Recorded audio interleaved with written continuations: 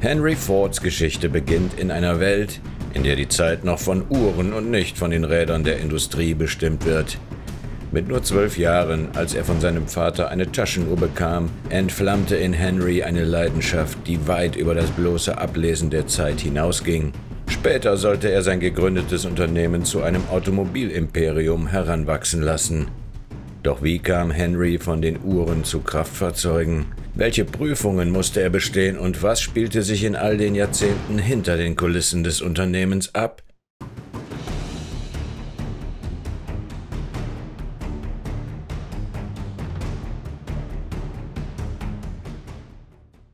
In der malerischen Landschaft des County Cork, umgeben von der ruhigen Schönheit Irlands, wird ein Junge namens William Ford geboren.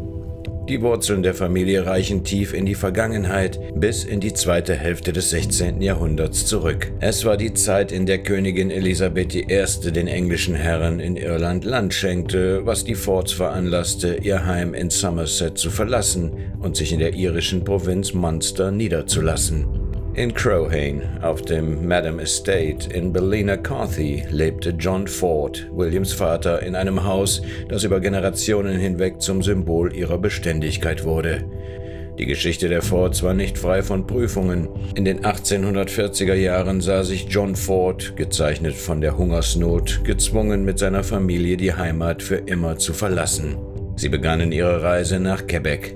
William, damals ein junger Mann von 21 Jahren, begleitete seine Familie. Doch die Reise war beschwerlich. Als sie auf dem Schiff waren, wurde seine Mutter, Thomasin Smithford, plötzlich schwer krank und verstarb noch, bevor das Schiff in den USA Anker legen konnte. In Amerika bauten die Fords zusammen mit Johns Brüder, die bereits zehn Jahre zuvor ausgewandert waren, ein neues Leben auf. Ihr Weg endete in Dearborn, Michigan, wo John eine Farm von einem Landsmann namens Henry Maybury erwarb. William fand sowohl auf der eigenen Farm Arbeit als auch als Zimmermann und Landarbeiter. Einer seiner Arbeitgeber war ein gewisser Patrick Ahern, bei dem William seine spätere Frau Mary Litigate, die Pflegetochter Ahans, kennen und lieben lernte. Ihre Hochzeit im April 1861 legte den Grundstein für eine neue Generation der Fords. Am 30. April 1863 bekamen William und Mary einen Sohn, den sie Henry tauften. Henry wuchs in einer Umgebung auf, die von Fleiß und landwirtschaftlicher Arbeit geprägt war. An der Seite seines Vaters lernte er das Farmleben, wie das Pflanzen und Ernten, die Viehzucht und die vielseitigen Aufgaben, die das Leben auf einer Farm mit sich bringt. Es waren lange und harte Tage, aber sie lehrten ihn die Werte von disziplinierter Arbeit und Ausdauer. In seiner Kindheit erlebte der kleine Henry einige Abenteuer und Streiche, so auch an diesem Tag. Ein Arbeiter bot ihm Kautabak an und er, der keine Ahnung hatte, wie man damit umgeht, kaute und schluckte ihn schließlich, was zu einem schwindligen Heimweg führte. Als Mary ihn sah, war sie halb amüsiert, halb besorgt, nahm ihn in den Arm und tröstete ihn liebevoll. Henry war ein aufgewecktes Kerlchen, der das Risiko nie scheute und so auch kleinere Unfälle bei seinen mechanischen Experimenten erlitt, die ihm eine lebenslange Narbe und wertvolle Lektionen fürs Leben schenkten. In der Schule glänzte er besonders in der mündlichen Arithmetik und zeigte früh sein mechanisches Talent, indem er Uhren auseinanderbaute und wieder zusammensetzte. Seine Freundschaft mit Edsel Ruddyman, einem Nachbarsjungen, begann in diesen jungen Jahren – und wurde zu einer lebenslangen Bindung. Die beiden unzertrennlichen Freunde verbrachten viel Zeit miteinander, spielten Streiche und teilten Abenteuer, die ihre Kindheitserinnerungen prägten. Henrys Bildungsweg war kurz, aber intensiv. Nachdem er die Grundlagen des Lesens von seiner Mutter gelernt hatte, setzte er sein Lernen in der Schule fort, wo er seine Leidenschaft für das Mechanische weiterentwickelte. Sein formaler Bildungsweg endete nach der achten Klasse, aber das Lernen selbst hörte nie für ihn auf. In seiner Jugend zeigte sich Henrys tiefe religiöse Hingabe in den langen Spaziergängen zur Episkopalkirche, die er jeden Sonntag unternahm, um dort über seine Zukunft und seine Träume nachdenken zu können. Doch als seine Mutter im Jahr 1876 starb, erkannte Henry, dass seine wahre Leidenschaft nicht auf dem Bauernhof lag. Ich hatte nie eine besondere Liebe für die Farm. Es war die Mutter auf der Farm, die ich liebte, erinnerte er sich später. Für seinen Vater William war diese Entscheidung ein Schlag, denn er hatte gehofft, dass Henry das landwirtschaftliche Erbe weiterführen würde. Henrys Herz schlug jedoch für etwas anderes. Im Alter von 16 Jahren traf Henry den mutigen Beschluss, das elterliche Anwesen zu verlassen und in die aufregende Welt der Industrie Detroits einzutauchen. Er absolvierte eine Lehre als Maschinist und arbeitete bei verschiedenen Unternehmen, darunter James F. Flower Brothers und die Detroit Dry Dock Company. Diese Erfahrungen prägten ihn stark und bereiteten den Weg für seine spätere Karriere. Anfang der 1880er Jahre bekam er die Nachricht, dass sein Vater seine Hilfe auf der Familienfarm benötigte, und so packte er zusammen und kehrte vorübergehend nach Dearborn zurück. Während dieser Zeit meisterte er die Bedienung der tragbaren Dampfmaschine von Westinghouse und bot später Wartungsdienste für diese Maschine an. Die Rückkehr zur Farm war also keine Niederlage, sondern eine Gelegenheit, sein technisches Wissen und seine Fähigkeiten zu erweitern. Das war ihm nun klar geworden. Als Henry sich an die Beobachtung eines Nichols Shepard Straßenmotors zurückerinnerte, verstand er, dass dieser Moment mehr als eine bloße Kindheitserfahrung gewesen war. In der ruhigen Umgebung des Bauernhofs begann Henry daraufhin in einer kleinen Werkstatt mit dem Bau eines Dampfwagens oder Traktors und eines Dampfautos. Obwohl er Zweifel hatte, ob Dampf sich für leichtere Fahrzeuge überhaupt eignete, ließ ihn seine unerschöpfliche Neugier nicht ruhen. Auch der Gedanke, dass man Elektrizität als Energiequelle nutzen könnte, rief in ihm Bedenken hervor. Doch diese Bedenken hielten seinen Erfindergeist nicht auf. Mit stetiger Hand und einem scharfen Auge für Details machte er sich daran, die Welt der Mechanik zu erobern. Seine mechanischen Experimente nahmen bald schon eine neue Richtung ein, als er einen Ottomotor erfolgreich reparierte. Kurze Zeit später hatte er sogar ein eigenes Modell mit vier Zyklen angefertigt. An einem strahlenden Frühlingstag, dem 11. April 1888, trat Henry in eine neue Lebensphase ein, als er Clara Jane Bryant das Jawort gab. Ihre Hochzeit markierte den Beginn einer gemeinsamen Reise, die sowohl von tiefem Zusammenhalt als auch von den Herausforderungen geprägt sein sollte, die das Leben für sie bereithielt. Henry war nicht nur ein Pionier in seinem Fachgebiet, sondern auch ein liebevoller Ehemann und Vater. Er widmete sich verschiedenen Unternehmungen, um seine Familie zu unterstützen.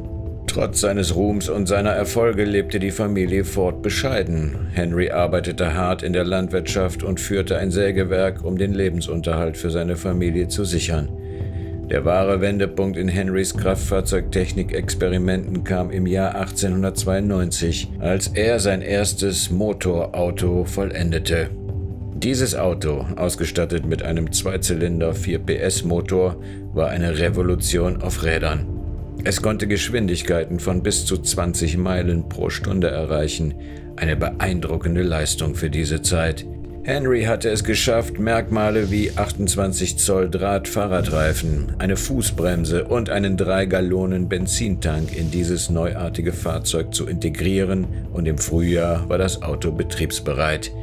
Das Jahr 1893 war ein glückliches Jahr, in dem das Paar ihr einziges Kind, Edsel Ford, willkommen hieß. Edsel wurde zu einem Symbol der Hoffnung und des Erbes, das von Generation zu Generation weitergegeben wird. Edsel erbte den erfinderischen und unternehmerischen Geist seines Vaters und spielte später eine entscheidende Rolle in der Ford Motor Company. Henry gab als Zeichen tiefer Verbundenheit und Wertschätzung seinem Sohn den Namen seines besten und ältesten Freundes Edsel Ruddyman.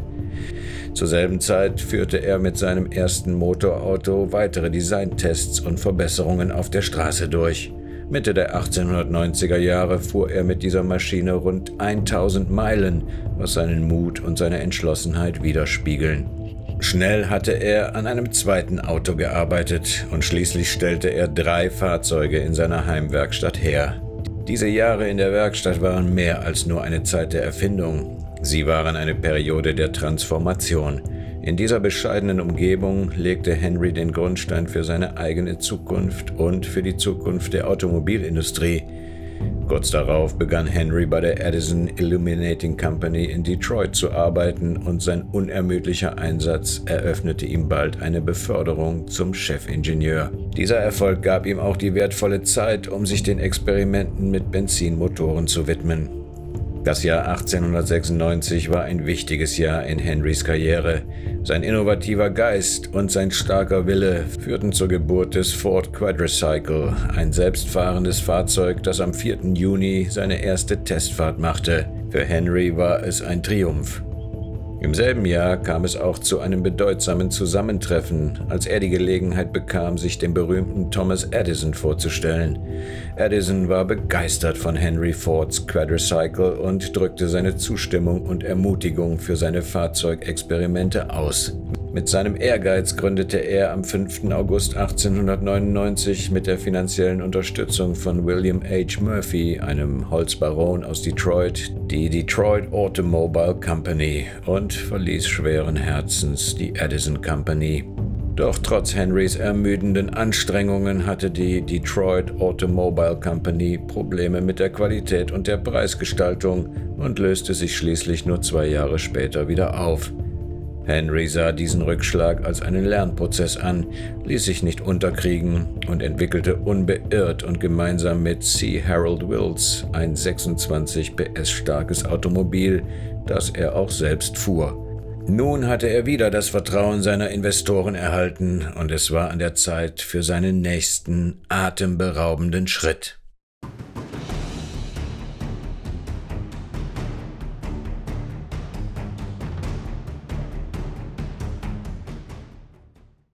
Am 30. November 1901 hatte Henry es geschafft, die letzten Zweifler zu überzeugen und gründete die Henry Ford Company, in der er als Chefingenieur tätig war.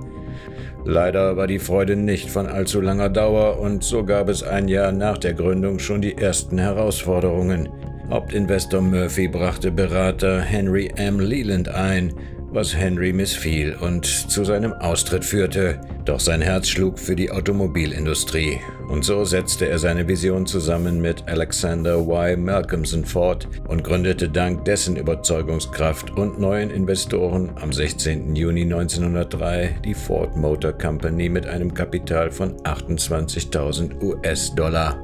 Leland benannte das Unternehmen später in Cadillac um Henry hatte allerdings ein Problem, denn er galt als temperamentvoll und somit als ungeeignet für die Unternehmensführung. Deshalb wurde John S. Gray zum Präsidenten der Ford Motor Company gewählt. Henrys Beharrlichkeit und sein Pioniergeist waren jedoch unerschütterlich. In einer Allianz mit dem ehemaligen Radsportler Tom Cooper entstand ein leistungsstarker Rennwagen namens 999. In einem denkwürdigen Moment auf den eisigen Flächen des Lake St. Clair enthüllte er ein revolutionäres Autodesign. Er jagte dieses Fahrzeug in nur 39,4 Sekunden über eine Meile und erreichte einen atemberaubenden neuen Geschwindigkeitsrekord von satten 91,3 Meilen pro Stunde. Fasziniert von diesem technischen Meisterwerk nannte der berühmte Rennfahrer Barney Oldfield das Auto 999, eine Hommage an die damals schnellste Lokomotive, und begab sich auf eine landesweite Tour. Diese Reise festigte das Ford-Modell 999 nicht nur als Symbol für die technische Meisterschaft im Automobilbereich, sondern verankerte auch die Marke Ford fest im kollektiven Bewusstsein der Vereinigten Staaten. Am 1. Oktober 1908 hörte Henry das erste Mal den Motor einer Maschine aufheulen, die nicht nur ein Fahrzeug sein sollte, sondern das Emblem einer ganzen Ära, das Modell T. Mit seinem bescheidenen Preis von 825 US-Dollar, was heute etwa 26.870 US-Dollar entspräche, brachte das Modell T Innovationen mit sich, die weit über seine Zeit hinausgingen. Das Modell T zeichnete sich auch durch einen geschlossenen Motor und ein Getriebe, einen robusten Vierzylinderblock und eine Federung mit zwei halb elliptischen Federn aus. Sein einzigartiges fußbetätigtes Planetengetriebe und das am Lenkstock montierte Gaspedal boten eine Fahrerfahrung, die eine gewisse Lernkurve für diejenigen erforderte, die mit anderen Fahrzeugen der damaligen Zeit vertraut waren. Diese Herausforderung verringerte jedoch seine Beliebtheit nicht. In Detroit entwickelte Henry eine effektive PR-Strategie für das Modell T, wie die breite Medienpräsenz und ein Netzwerk lokaler Händler. Dies trug zur Verbreitung des Automobils in Nordamerika bei, besonders unter den einfachen Bürgern. Die Einführung von Fließbändern in Henrys Werken führte Anfang der 1910er Jahre zu einem massiven Anstieg der Produktionszahlen. Lange dominierte das Modell T, das nur in Schwarz erhältlich war, den US-Automarkt. Henry selbst betonte diese Farbpolitik mit dem lustigen Zitat Kunden können jede Farbe wählen, solange sie schwarz ist. Doch im frühen 20. Jahrhundert stand Henry vor dem Problem des hohen Arbeiterwechsels. Er sah nicht ein, warum er den Arbeitern die Fähigkeiten lehrte und die Erfahrungen schenkte, während diese kurz darauf sein Unternehmen wieder verließen. Er strebte danach, erstklassige Talente nicht nur zu gewinnen, sondern auch langfristig zu binden, um so die Produktivität seiner Firma zu steigern. Henry setzte daraufhin ein mutiges Zeichen. Er führte einen Tageslohn von 5 US-Dollar ein, in der heutigen Kaufkraft entspräche dies rund 153 US-Dollar, eine Summe, die das Einkommen der meisten seiner Arbeiter mehr als verdoppelte. Diese Entscheidung war nicht nur ein Akt der Großzügigkeit, sondern auch eine strategische Maßnahme. Sie lockte die besten Mechaniker Detroits zu Henrys Unternehmen und steigerte die Produktivität, während sie gleichzeitig die Kosten für Schulungen reduzierte. Henrys Konkurrenten sahen sich gezwungen, ihre Gehälter ebenfalls zu erhöhen, um ihre qualifizierten Arbeitskräfte zu halten. Damit demonstrierte er, dass höhere Löhne den Arbeitern ermöglichten, sich die von ihnen hergestellten Produkte, in diesem Fall Autos, zu leisten und belebte so die lokale Wirtschaft. Henrys Konzept ging jedoch darüber hinaus. Als Gegenzug setzte eine Abteilung, bestehend aus 50 Ermittlern, strenge Mitarbeiterstandards durch und lehnte Verhaltensweisen wie übermäßigen Alkoholkonsum und Glücksspiel ab. Trotz der guten Absichten war Henrys Eingriff in das persönliche Leben seiner Mitarbeiter nicht astrein. Angesichts solcher umstrittener Überwachung zog er sich später von diesen Aspekten zurück. In seinen Memoiren räumte er den Fehler des übertriebenen Patriarchalismus in der Branche ein und betonte, dass Männer zwar Rat und Hilfe bekommen könnten, aber die damalige Form der Wohlfahrtsarbeit, die sich zu sehr in das Privatleben einmischte, nicht mehr zeitgemäß sei. Ende der 1910er Jahre wechselte die Präsidentschaft der Ford Motor Company zu seinem Sohn Edsel Ford, obwohl Henry weiterhin die endgültige Entscheidungsbefugnis behielt und oft die Meinung seines Sohnes überstimmte. In einem strategischen Schachzug gründete Henry später die Henry Ford Son Company, um die verbleibenden Stakeholder der Ford Motor Company dazu zu bewegen, ihre Anteile an ihn und Edsel zu verkaufen und festigte damit die familiäre Kontrolle über das Unternehmen. Bald darauf betrat die Ford Motor Company mit der Übernahme der Lincoln Motor Co., die von den Cadillac-Gründern Henry Leland und seinem Sohn Wilfred gegründet worden war, den Premium-Automobilmarkt. Die Leland selbst, ursprünglich für das Management behalten, fanden sich jedoch bald außerhalb des Unternehmens wieder. Henrys Gleichgültigkeit gegenüber Luxusfahrzeugen stand in starkem Kontrast zu Edsels Vision, das Unternehmen in den gehobenen Markt zu führen. Trotz dieser Differenzen blieb das ursprüngliche Lincoln Modell L zehn Jahre lang in Produktion, bevor es Anfang der 1930er Jahre durch das modernisierte Modell K ersetzt wurde. Trotz Henrys anfänglichem Widerwillen, das seit 16 Jahren erfolgreiche Modell T in den Ruhestand zu schicken, führten der zunehmende Wettbewerbsdruck, insbesondere von Chevrolet, zur Entwicklung des Modell A. Dieses neue Modell wurde nach einer 18-monatigen Produktionspause eingeführt, in der das massive neue River Rouge Montagewerk errichtet wurde. Außerdem wurde das Ford Modell T immer weniger beliebt, was Henry letztendlich von dem Wechsel zum Modell A überzeugte. Das Design überließ Henry seinem Sohn Edsel und weil dieser ein Händchen dafür hatte und der Erfolg auf großen Schritten kam, führte er daraufhin jährliche Modellwechsel ein, eine Praxis, die von General Motors übernommen wurde und heute noch verwendet wird. Henry begann seine Abneigung gegenüber Finanzgesellschaften zu überwinden und gründete die Universal Credit Corporation, ein bedeutendes Unternehmen für die Autofinanzierung. Trotz dieser finanziellen Innovation blieb Henry skeptisch gegenüber bestimmten technologischen Fortschritten, wie zum Beispiel hydraulischen Bremsen und vollständig metallenen Dächern, die erst viel später in Ford-Fahrzeugen integriert wurden. In diesen Jahren war der Flatheat Ford VA der erste wirtschaftliche Achtzylindermotor und stellte einen Wendepunkt für Henrys Unternehmen dar. Henry hatte mit technologischem Fortschritt nicht viel am Hut. Er hatte auch eine Abneigung gegenüber der Buchführung, was sich in einem eigenartigen Finanzmanagementstil widerspiegelte. In einem strategischen Schachzug, der von Etzel im Jahre 1939 maßgeblich vorangetrieben wurde, erstrahlte die Marke Mercury als neues Sternbild am Automobilhimmel. Konzipiert als Mittelklasse-Marke war Mercury dazu bestimmt, mit Giganten wie Dodge und Buick in den Ring zu steigen.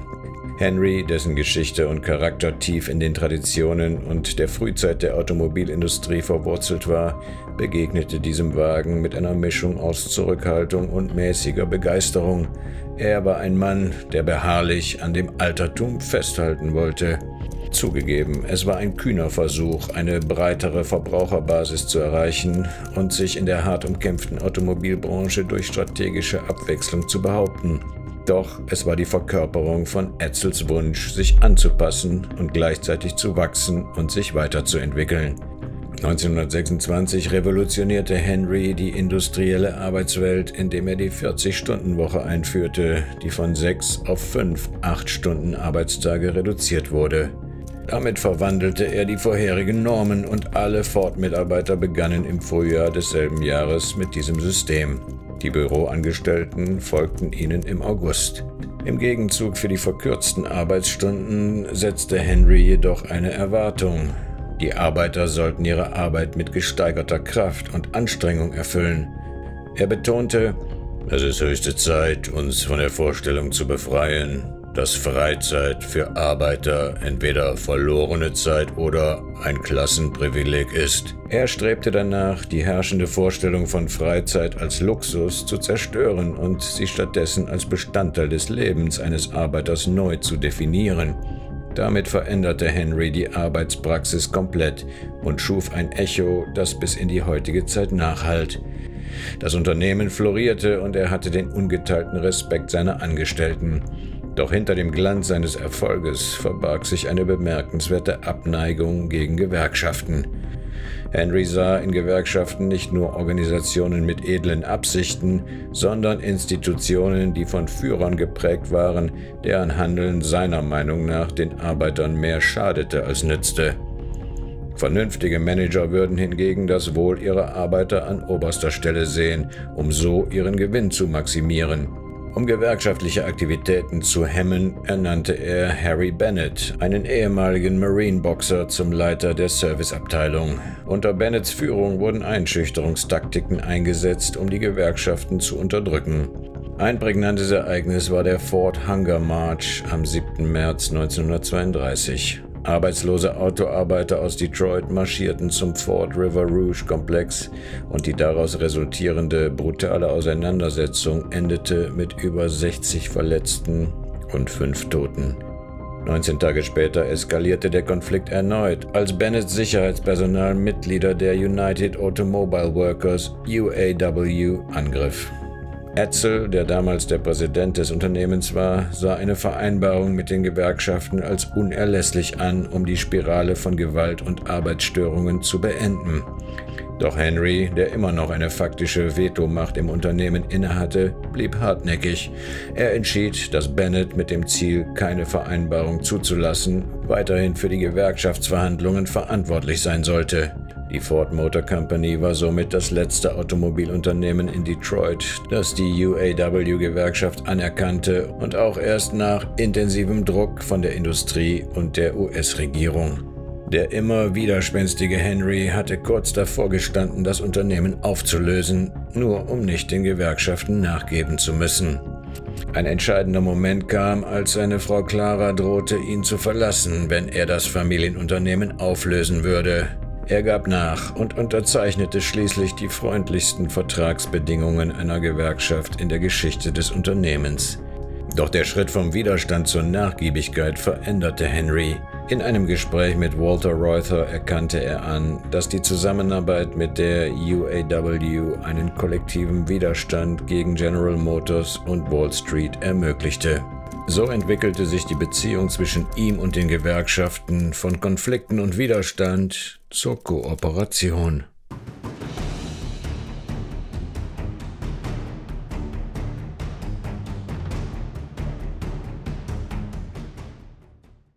Während des globalen Konflikts des Ersten Weltkriegs erkannte Henry die Bedeutung der Luftfahrt und erweiterte seine technischen Fähigkeiten in diese Richtung. Er begann mit dem Bau von Liberty-Motoren, einer entscheidenden Komponente für die Flugzeuge der damaligen Zeit, um sein Engagement für seine Nation in Zeiten der Not zu zeigen.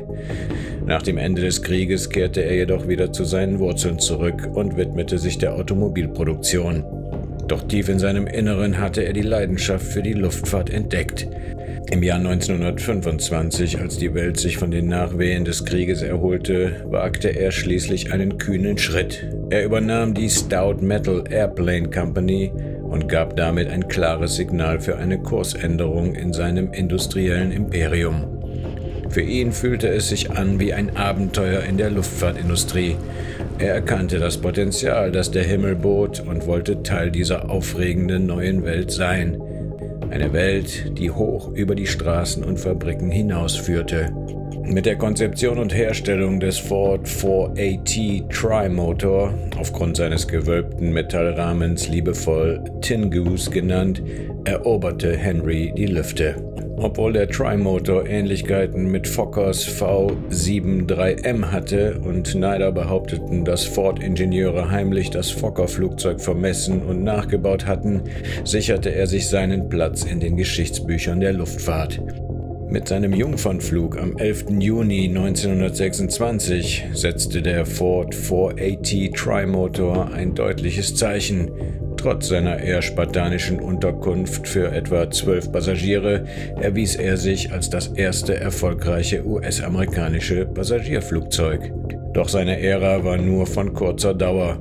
1933 stellte Ford die Produktion mit 199 gebauten Einheiten ein und legte die Ford Airplane Division still. Obwohl die Flugzeugabteilung geschlossen wurde, hinterließ Henrys Einfluss auf die Luftfahrtindustrie tiefe Spuren in der Geschichte. Henrys Beiträge zur Luftfahrt wurden von der Smithsonian Institution anerkannt und viele Jahre später wurde er in die National Aviation Hall of Fame aufgenommen, was den Einfluss seines Unternehmens in diesem Bereich bestätigte. Inspiriert von der Pazifistin Rosika Schwimmer machte er einen mutigen Schritt. Er finanzierte ein Friedensschiff und brach mit einer Gruppe von 170 Friedensaktivisten zu einer Mission auf, die Frieden in die krisengebeutelten Gebiete Europas bringen sollte. Obwohl Henry Gespräche mit Präsident Woodrow Wilson über die Mission führte, fehlte es ihm an staatlicher Unterstützung. Trotzdem reiste er mit dem Friedensschiff in die neutralen Gebiete Schwedens und der Niederlande, um sich mit anderen Friedensaktivisten zu beraten. In Schweden musste Henry jedoch das Schiff schnell verlassen, da die Mannschaft plötzlich der Radikalisierung ausgesetzt war. Er ärgerte sich sehr über diejenigen, die seiner Meinung nach Konflikte finanzierten. Er tat seine Meinung lautstark kund und machte einen deutsch-jüdischen Bankier für den Kriegsausbruch verantwortlich.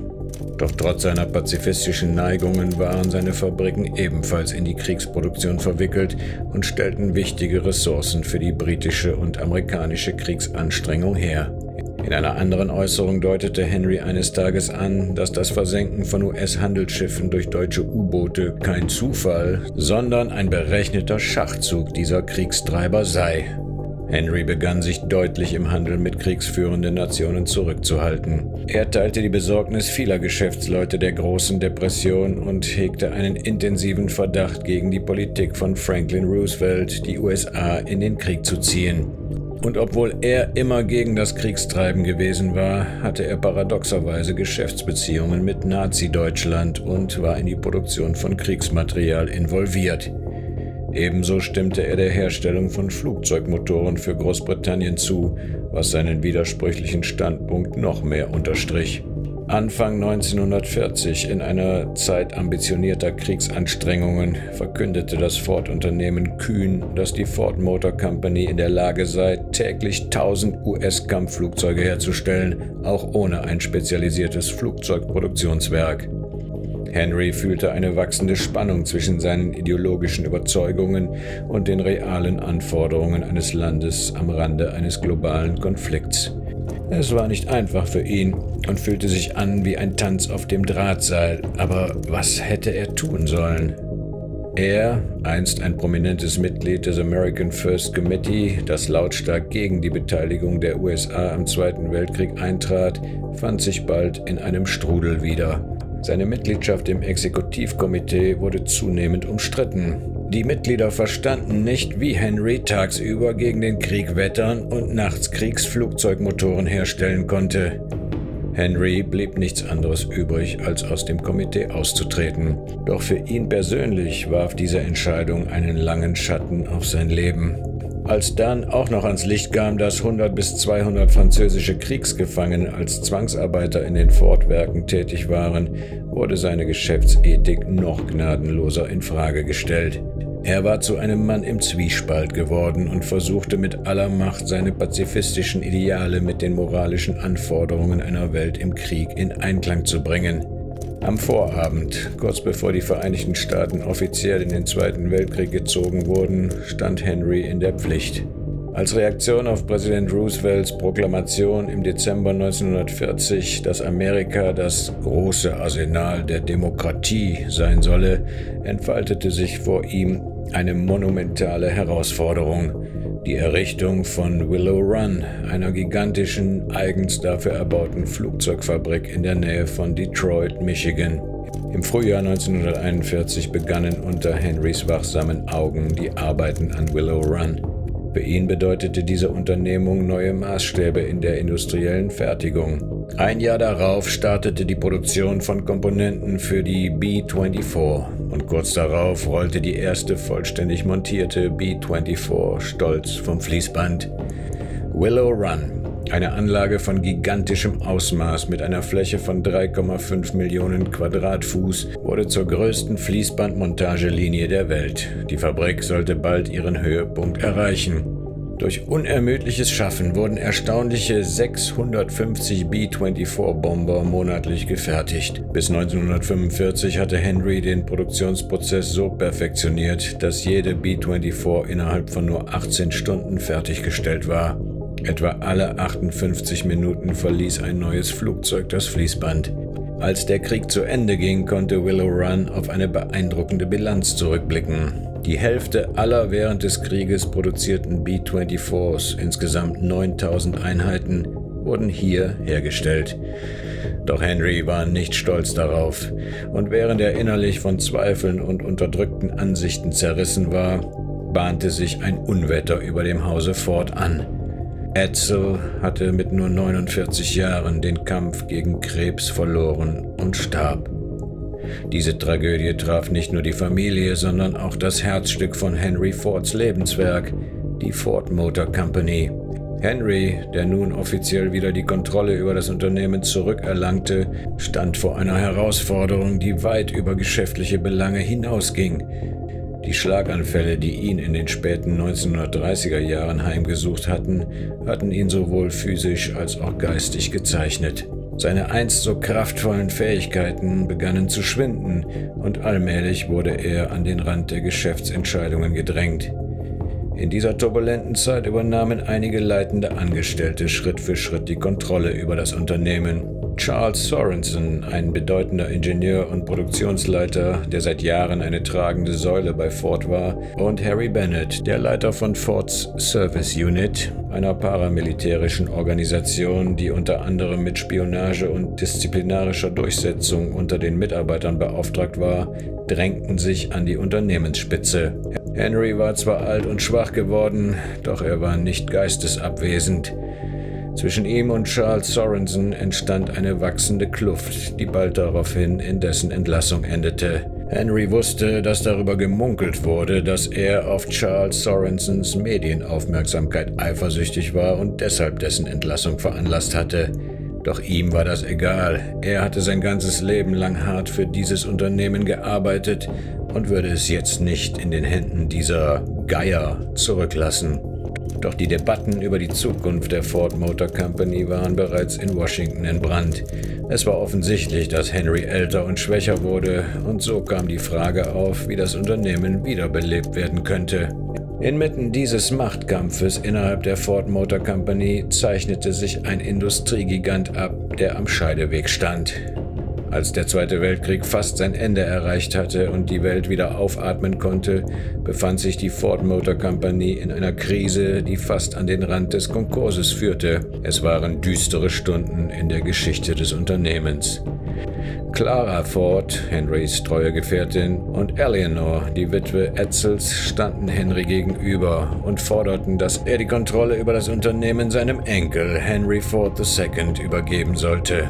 Henry blieb stur und wollte sich nicht so leicht geschlagen geben, doch ihre Drohung, beträchtliche Aktienanteile zu verkaufen, war kein leeres Gerede, sondern eine formidable Bedrohung.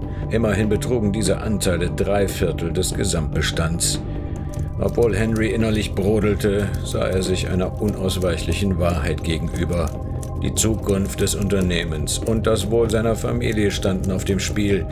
Schließlich gab er nach und mit dieser Entscheidung begann eine neue Ära für die Ford Motor Company.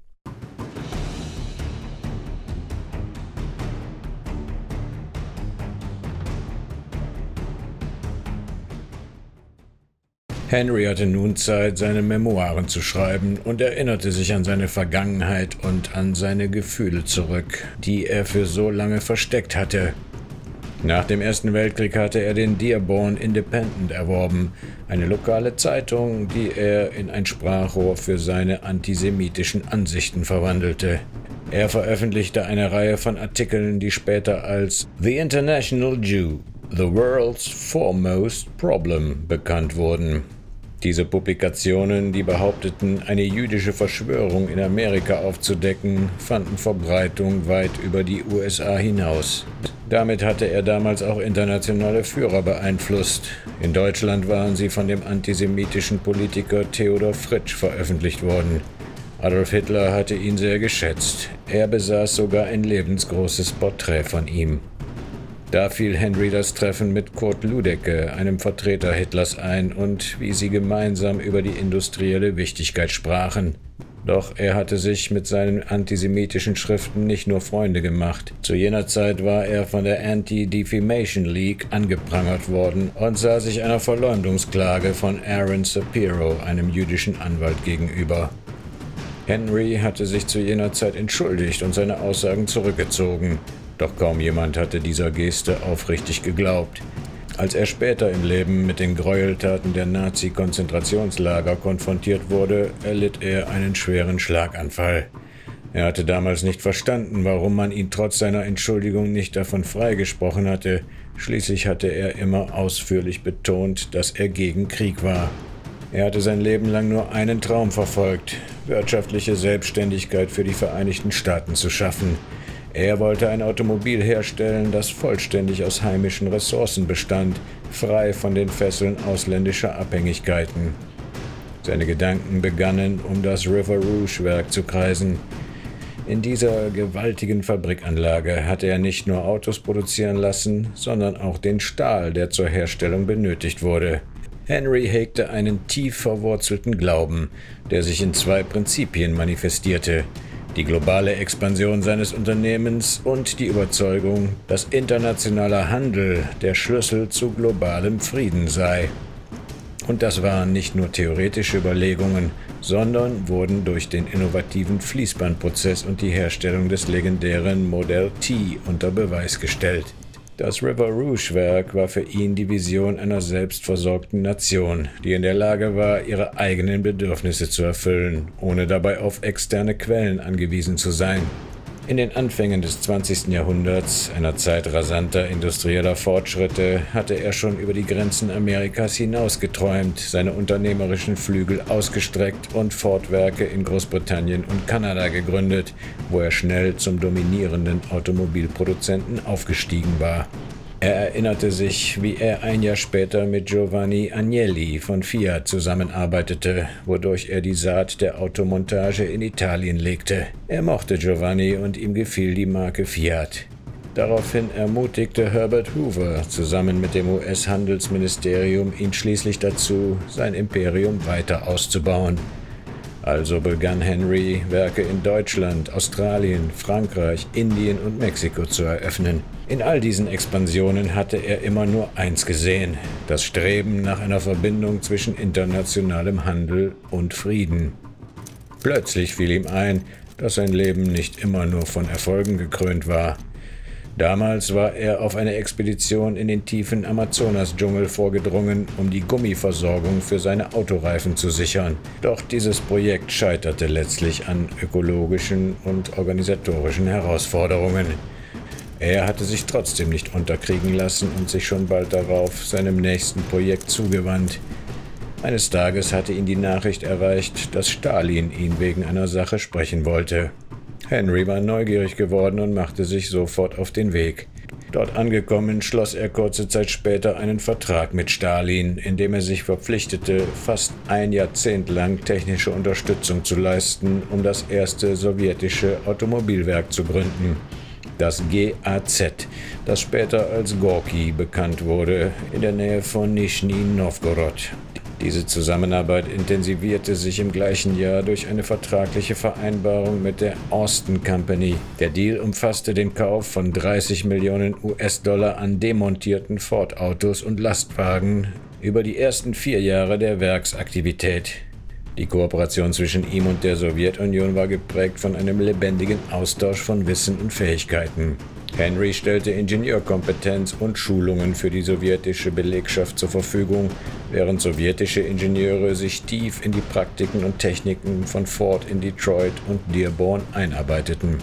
Er hatte den Menschen damals schon gesagt, egal wo die Industrie gedeiht, ob in Indien, China oder Russland, den Gewinn daraus wird es für alle geben, auch für uns. Die ganze Welt muss etwas Gutes davon haben. Er wurde zum Meister der Automobilindustrie.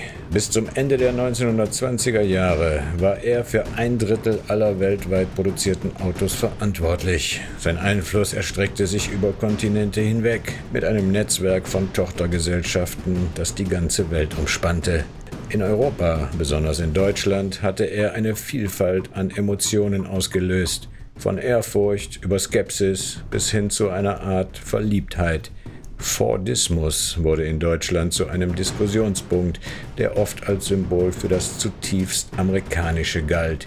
Er verkörperte Ängste, Wünsche und Faszinationen für das, was als typisch amerikanische Kultur und kapitalistische Entwicklung angesehen wurde. Es war die weit verbreitete Ansicht, dass man, um die wirtschaftlichen und sozialen Zusammenhänge in den Vereinigten Staaten zu verstehen, nur auf die Automobilindustrie und insbesondere auf Ford schauen musste. Er hatte sich auch seinen Weg durch die aufregende Welt des Autorennens gebahnt. Anfang des 20. Jahrhunderts, als er noch ein junger Mann gewesen war, war er nicht nur ein Konstrukteur, sondern auch kurzzeitig als Fahrer aktiv.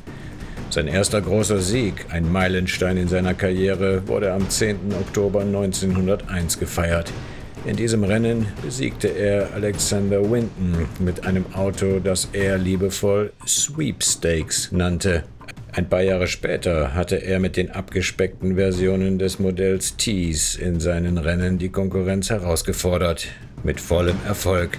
Sie errangen den vorläufigen ersten Platz in einem transkontinentalen Ocean-to-Ocean-Rennen.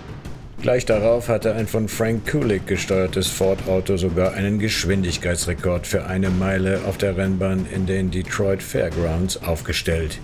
Doch dann war er vor einer neuen Herausforderung gestanden, dem legendären Indianapolis 500. Es kribbelte Henry jetzt noch in den Füßen, wenn er daran zurückdachte. Doch dieses Rennen hatte sich als bedeutende Hürde herausgestellt. Sein umgebautes Modell T musste zusätzliche 1000 Pfund schwerer werden, um unter den bestehenden Regeln qualifiziert zu werden. Er hätte seinen Rennwagen so gerne die Rennstrecke runtersausen sehen wollen, doch diese Anforderung wollte er nicht erfüllen, und von da an hatte er begonnen, sich immer weiter aus dem Rennsport zurückzuziehen. Was viele nicht wussten war, dass dieser Rückzug mehrere Faktoren hatte. Es waren seine Unzufriedenheit mit den Rennvorschriften, die steigenden Anforderungen durch die rapide Produktion des Modell T und eine Perspektive, die den Wert des Rennsports zunehmend skeptisch betrachtete. Für ihn war der Rennsport ein unzureichendes Maß für die Bewertung von Automobilen geworden. Autos sollten nicht nur in ihrer Rennstärke beurteilt werden, Außerdem war er selbst zu einem widerwilligen Rennfahrer geworden, der nur teilnahm, weil das Rennen damals als Synonym für Erfolg galt. Trotzdem hatte er gespürt, dass seine Autos in diesem Bereich dominieren würden. Und tatsächlich war sein Einfluss auf die Sportart während seiner aktiven Jahre unauslöschlich. Als er 1996 in die Motorsports Hall of Fame of America aufgenommen wurde, sollte sein Erbe in der Rennwelt unsterblich bleiben. Nachdem sein Sohn Etzel an Krebs gestorben war, hatte er sich mit über 80 Jahren dazu entschlossen, die Lücke in der Unternehmensleitung zu füllen. Es war eine Zeit der Trauer und er selbst hatte gesundheitliche Probleme gehabt. Doch er konnte sein Unternehmen nicht aufgeben, auch wenn das Misstrauen ihn so sehr plagte, dass seine Urteilskraft dadurch getrübt worden war. Er hatte alle Kraft zusammengenommen, doch er war der kolossalen Verantwortung kaum mehr gewachsen. Viele Direktoren des Unternehmens hatten gezögert, ihn wieder in die Führungsrolle einzusetzen, doch sein Einfluss auf das Unternehmen war über die letzten Jahrzehnte unbestreitbar geblieben. Gegen Ende des Zweiten Weltkriegs hatte die Ford Motor Company unter seiner Leitung einen finanziellen Niedergang erlitten. Verluste von mehr als 10 Millionen Dollar pro Monat, was in der heutigen Währung etwa 169 Millionen Dollar entspricht, hatten gezeigt, dass Henry für diese Verantwortung einfach zu alt geworden war. Damals hatte die Verwaltung von Präsident Franklin Roosevelt mit dem Gedanken einer möglichen Übernahme durch die Regierung gespielt, um die Kontinuität der Kriegsproduktion sicherzustellen. Doch diese Pläne wollte er unter allen Umständen verhindern. Im September 1945 hatte sich sein Gesundheitszustand schließlich so extrem verschlechtert, dass seine Frau und seine Schwiegertochter ihm das Messer auf die Brust gesetzt hatten. Er musste ihnen nachgeben und übergab das Präsidentenamt an seinen Enkel Henry Ford II. Am 7. April 1947 befand Henry sich auf Fair Lane, seinem geliebten Anwesen in Dearborn. Es ging ihm nicht gut, deshalb legte er sich nach dem Frühstück noch einmal ins Bett und schlief ein. Es war das letzte Mal, dass Henry seine Augen geschlossen hatte, denn noch am selben Tag starb er an einer Hirnblutung. Sein Tod rief eine Welle der Trauer hervor. Eine öffentliche Aufbahrung in Greenfield Village zog Tausende von Trauernden an, die ihre letzte Ehre erwiesen. Seine Trauerfeier fand in der Cathedral Church of St. Paul in Detroit statt und endete mit seiner Beisetzung im Fort Cemetery in Detroit. Henrys Tod markierte das Ende einer Ära, und auch wenn wir uns hier von ihm verabschieden müssen, so hat er doch die amerikanische Industrie und Innovation maßgeblich mitgeprägt und tiefen Respekt dafür genossen.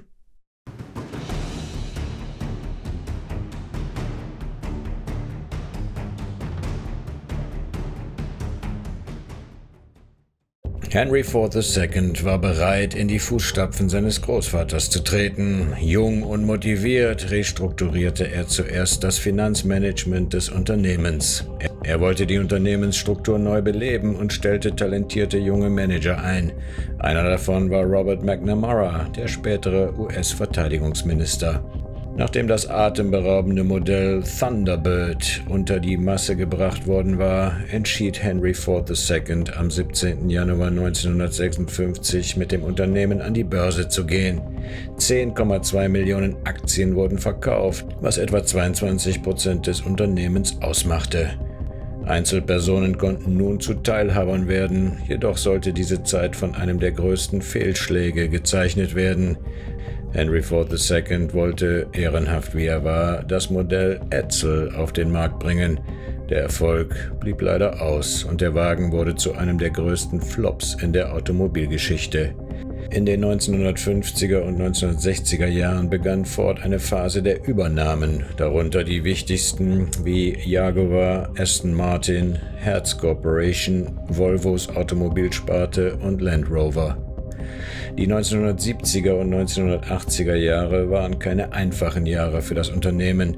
Katastrophen wie der OPEC-Ölschock und eine steigende Inflation förderten die Nachfrage nach kleineren, kraftstoffeffizienten Fahrzeugen und zwangen Ford, eine Antwort auf diesen Trend zu liefern.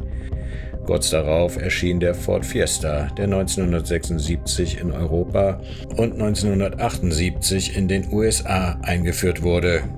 In den späten 1970er und frühen 1980er Jahren erweiterte Ford seine globalen Partnerschaften und Innovationen. Während das Unternehmen 25 Prozent der Anteile an Mazda erwarb, gewann die dritte Generation des Ford Escort erstmals den Titel European Car of the Year. In Reaktion auf den Verlust von Marktanteilen und den Druck, mit japanischen Importen zu konkurrieren, konzentrierte sich Ford verstärkt auf Kraftstoffeffizienz und Qualität. So führte das Unternehmen die erste Generation des Mondeo als Teil der globalen CDW27-Plattform ein und kündigte die amerikanischen Ableger Ford Contour und Mercury Mystique an. Kurz darauf begann die Produktion des Flexible Fuel Vehicle Taurus, der sowohl Benzin als auch Ethanol verbrennen konnte. Danach eröffnete Ford seine ersten Verkaufsstellen in China und sah bis Ende 2005 einen Anstieg auf 150 Länder. Der Ford Focus ersetzte den Ford Escort und wurde in den USA im Jahr 2000 eingeführt. Im selben Jahr musste Bridgestone Firestone 6,5 Millionen Reifen zurückrufen, nachdem es bei Ford-Testfahrten zu Überschlag-Todesfällen gekommen war. Daraufhin rief Ford weitere 13 Millionen Reifen zurück und beendete die Zusammenarbeit mit Bridgestone Firestone. Bundesermittler identifizierten Reifenfehler als Hauptursache für die Unfälle. William Clay Ford Jr., auch bekannt als Bill Ford, der damalige CEO des Unternehmens, begann die Übernahmen seiner Vorgänger der letzten Dekade zu überdenken. Innerhalb von zwei Jahren sorgte er dafür, dass sowohl Hertz als auch Aston Martin verkauft wurden. Es wurde ein Balanceakt, eine Mischung aus strategischer Weitsicht und der Notwendigkeit, sich von Ballast zu befreien. Dann kam ein Jahr, das in die Annalen der Wirtschaftsgeschichte eingehen sollte. Die Finanzkrise, auch bekannt als die große Rezession, war wie ein eisiger Wintersturm, der die Fundamente der amerikanischen Wirtschaft erschütterte. Ford, wie viele andere, spürte die eisige Kälte dieser Krise. Der Absatz von Fahrzeugen und allgemeinen Verbraucherausgaben fiel ins Bodenlose. In diesen düsteren Zeiten musste das Unternehmen Jaguar und Land Rover an Tata Motors Limited aus Indien verkaufen und begann gleichzeitig damit, sich von Mazda zu trennen, ein langsamer Abschied, der erst 2015 vollendet werden sollte. Als die Schatten der Krise sich verdichteten, trat eine Figur in das Rampenlicht, Präsident George W. Bush. Im Dezember 2008 verkündete er einen Notfallrettungsplan für die großen drei der amerikanischen Autoindustrie. Chrysler LLC, General Motors Corporation und Ford. Dieser Plan, ein 13,4 Milliarden Dollar schweres Rettungspaket aus dem Troubled Asset Relief Program, sollte das drohende Unheil abwenden. Doch das darauffolgende Jahr brachte unerwartete Veränderung. Während General Motors und Chrysler in den Bankrott schlitterten, sah Ford Licht am Horizont, steigende Verkaufszahlen und Marktanteile. Ein Teil dieses Aufschwungs war dem staatlichen Abwrackprämienprogramm zu verdanken, das den Verbrauchern Anreize bot, ihre alten Autos gegen neue, effizientere Modelle einzutauschen. Ford nutzte diese Gelegenheit, führte Kosteneinsparungen durch und konzentrierte sich auf seine stärkeren Marken. Die Veränderung ging jedoch weiter. Ford verkaufte Volvo an das chinesische Unternehmen Shenyang Geely Holding und gab einige Monate später die Einstellung seiner Mercury-Produktlinie bekannt. In einer Welt, die sich rasant veränderte, suchte Ford nach Wegen, sein Angebot zu erweitern. Die Gründung von Ford Smart Mobility LLC im Jahr 2016 und die Ankündigung, das Portfolio an Elektrofahrzeugen zu erweitern, waren mutige und doch wichtige Schritte. Zwei Jahre später erreichte eine kühne Ankündigung die Öffentlichkeit. Bis auf den Mustang und den Ford Focus Active werden alle Pkw-Modelle eingestellt. Das Unternehmen wollte sich von nun an auf Pickups, SUVs und Crossover-Fahrzeuge konzentrieren. Ein kluger Zug, wenn man bedenkt, dass Fords F-Serie von Pickups seit Jahrzehnten die meistverkauften Fahrzeuge in den USA waren. Das neue Jahrzehnt brachte jedoch eine Verpflichtung zur Elektrifizierung, Forschung und Entwicklung mit sich. Ford war bereit, seine Flotte zu revolutionieren.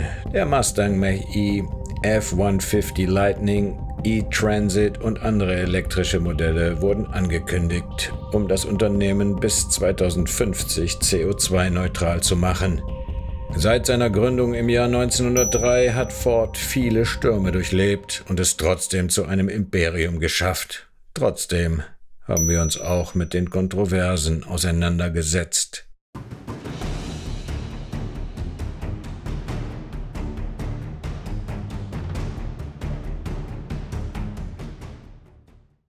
Es war das Jahr 1940, eine Zeit, in der die Welt von den dunklen Schatten des Krieges überschattet wurde. In den hallenden Korridoren der Ford-Werke in Deutschland gab es eine Abteilung, die trotz ihrer Verbindung zur Muttergesellschaft Dearborn Company in den USA einen eigenen, ominösen Pfad einschlug. Das Ford-Werk in Köln begann, wie viele andere Industrieunternehmen dieser Zeit, Zwangsarbeiter einzusetzen, um Militärfahrzeuge herzustellen. Dann mit dem Angriff auf Pearl Harbor veränderte sich das Schicksal von Ford dramatisch. Die Kontrolle über die deutschen Abteilungen entglitt den Händen der Dearborn Company und plötzlich standen alle Ford-Einrichtungen in Deutschland unter der eisernen Faust der Nazi-Regierung. Fast fünf Jahrzehnte später wurden diese Vorwürfe in einer Reihe von US-Rechtsstreitigkeiten neu entfacht. Doch die juristische Auseinandersetzung fand 1999 ein abruptes Ende, als der Fall abgewiesen wurde. Warum? Am 26. Juni 1940, dem Tag nach dem Zusammenbruch Frankreichs, gab es ein Ereignis, das in die Geschichte einging. Ein Gala-Dinner im Manhattan Waldorf Astoria. Organisiert von Gerhard Alois Westrick zählten zu den Gästen auch Persönlichkeiten wie Edsel Ford, Sostinus Vane von ITT, Torkild Lieber von Texaco, James D. Mooney von General Motors und Philip Dakin Wagoner von der Underwood Typewriter Company, ein Symbol für die verworrenen Beziehungen zwischen Wirtschaft, Politik und dem Gesetz. Die Verteidiger des Unternehmens behaupteten in dem Rechtsstreit, dass die deutsche Abteilung von Ford sich der Kontrolle des Mutterkonzerns entzogen hatte, nachdem die Nazi-Regierung die Macht übernommen hatte. Fords anfängliche Motivation mag antikriegerisch gewesen sein, doch als der Krieg ausbrach, spielten auch die alliierten Fabriken eine entscheidende Rolle in den Kriegsanstrengungen. In den weiten Ebenen Argentiniens entwickelte sich Ende der 1970er Jahre eine andere fragwürdige Geschichte, die noch Jahrzehnte später die Herzen und Seelen der Menschen und die argentinische Tochtergesellschaft von Ford erschüttern sollte. In einer Periode, die als der schmutzige Krieg bekannt ist, wurden Intellektuelle, Dissidenten und alle, die als Bedrohung für das herrschende Regime angesehen wurden, in einer Militärdiktatur brutal verfolgt. Die argentinische Niederlassung von Ford wurde beschuldigt, eine Rolle in diesem schrecklichen Kapitel der Geschichte gespielt zu haben. Das Unternehmen selbst bestreitet diese Vorwürfe, doch die Stimmen der Vergangenheit schwiegen nicht. Im Jahr 1996 erhob sich eine Anklage im Namen der geschätzten 600 spanischen Staatsbürger, die während des schmutzigen Krieges spurlos verschwunden waren. Die Angehörigen der Opfer warfen Ford und anderen Industriegiganten vor, maßgeblich an den Grausamkeiten beteiligt gewesen zu sein. Der Vorwurf war schwerwiegend. Ford-Manager sollen Listen von störenden Arbeitern erstellt und sie den Militäreinheiten übergeben haben, die in der Fabrik stationiert waren. Es waren Anschuldigungen von Entführungen, Folter und Mord, manchmal sogar innerhalb der Fabrikmauern selbst. Der Verdacht verschärfte sich, als die argentinische Arbeiterzentrale Aussagen ehemaliger Ford-Mitarbeiter in einem 5000 Seiten umfassenden Bericht enthüllten. Sie behaupteten, dass die Fabrik des Unternehmens von 1976 bis 1978 als eine Art Gefängnis genutzt wurde und das Management dem Militär erlaubte, im Werk einen eigenen Bunker zu installieren, der zu einem Ort des Schreckens innerhalb der Mauern, die einst dem Fortschritt der Industrie gewidmet waren, wurde. Ein Spiel der Giganten Ford, General Motors, ExxonMobil, Shell und Total Energy offenbarte weitere Ignoranz und versteckte Wahrheiten. Ein kanadischer Physiker, Gilbert Norman Plath, ein Mann, dessen Geist in den Sternen wanderte, während seine Füße fest auf der Erde standen, trat Mitte der 1950er Jahre der aeronautischen Neutronikabteilung von Ford bei. Vor seiner Zeit bei Ford hatte Plath bereits das Unbekannte erforscht. Seine Arbeiten zum Klima, insbesondere die Artikel Kohlendioxid und Klimawandel und die Kohlendioxidtheorie der Schwankungen, waren visionäre Stücke, die ein warnendes Licht auf die Dunkelheit warfen, die kommen sollte. Die unangenehme Wahrheit, die Menschheit schrieb durch ihre unersättliche Gier nach fossilen Brennstoffen das Drehbuch für ihre eigene Tragödie. Bei Ford setzte Plath seine Mission fort, nutzte die Computer des Unternehmens für frühe Klimamodelle und publizierte seine Ergebnisse in den ehrwürdigen Hallen wissenschaftlicher Fachzeitschriften. Als er schließlich zum Laborleiter der Abteilung für theoretische Physik aufstieg, schien es, als könnte seine Stimme endlich Gehör finden. Doch die Geschichte nahm eine dunkle Wendung, als Ford seine Abteilung für Luft- und Raumfahrttechnik mit Fileco, einem ursprünglichen Radio- und Fernsehtechnikunternehmen, fusionierte, was zur Gründung von Fileco Ford führte. Es schien, als würde die Wissenschaft durch diese Fusion in den Hintergrund gedrängt. Obwohl Forscher wie Daryl Eugene Birch ihre Arbeit fortsetzten, ist es unklar, ob ihre Entdeckungen jemals die Entscheidungsträger erreichten. Die Ironie wurde Ende der 1980er Jahre deutlich, als Ford der Global Climate Coalition, einer Organisation, die sich gegen Maßnahmen zur Reduzierung der Treibhausgasemissionen aussprach, beitrat. Diese Entscheidung stand im krassen Gegensatz zu den früheren wissenschaftlichen Bemühungen des Unternehmens und spiegelte eine Zeit wider, in der Profit wichtiger war als Prinzipien. Ford unterstützte auch Denkfabriken, die den wissenschaftlichen Konsens zum Klimawandel anzweifeln, was auf eine tiefe Verstrickung in eine Kultur der Leugnung und Desinformation hindeutet. Es war, als würden sie mit dem Feuer spielen, das sie selbst entfacht hatten. 1971 sollte ein neuer Skandal das Unternehmen beuteln, als es den Pinto, einen kleinen Wagen für Nordamerika, dessen Design bald in Verruf geriet, herausbrachte. Sein Kraftstofftank war bei Heckkollisionen gefährlich anfällig. Ein aufschlussreicher Artikel in Mother Jones behauptete, Ford habe bewusst ein tödliches Design gewählt, da es billiger schien, Gerichtsverfahren zu riskieren, als das Kraftstoffsystem zu ändern. Dies führte zu einem öffentlichen Aufschrei. Politischer Druck zwang die National Highway Traffic Safety Administration zu einer Untersuchung. Sie bestätigte die Mängel des Pinto und seines Geschwistermodells des Mercury Bobcat. Ford musste 1,5 Millionen Fahrzeuge zurückrufen. Anfang der 2000er Jahre passierte etwas, das die Welt in Aufruhr versetzte. Eine mutige Gruppe Südafrikaner, vertreten durch die entschlossene Furumani Support Group, hatte sich aufgemacht, Gerechtigkeit zu fordern. Sie behauptete, dass Ford während der Apartheid-Ära Fahrzeuge an die südafrikanischen Sicherheitskräfte, die als Zeichen der Unterdrückung in den Straßen patrouillierten, geliefert hatte. Die Anklagen waren gewichtig, die Emotionen tief und die Beweise ein Puzzle der Vergangenheit. Über ein Jahrzehnt hinweg halten die Stimmen der Kläger durch die Gerichtssäle, unterstützt durch die Forumani Support Group, die nicht nur für Entschädigung, sondern für Anerkennung und Gerechtigkeit kämpfte. Doch in den endlosen Gängen der Justiz, wo Gesetze und Vorschriften oft ein Labyrinth ohne klares Ende bilden, fand die Geschichte eine unerwartete Wendung. Im Jahr 2014, nach langen Jahren der Auseinandersetzung, fiel der Hammer des Richters mit einem Schlag und die Klage gegen Ford wurde abgewiesen. Der Grund? Ford konnte nicht für das Verhalten seiner südafrikanischen Tochtergesellschaft verantwortlich gemacht werden, so das Urteil.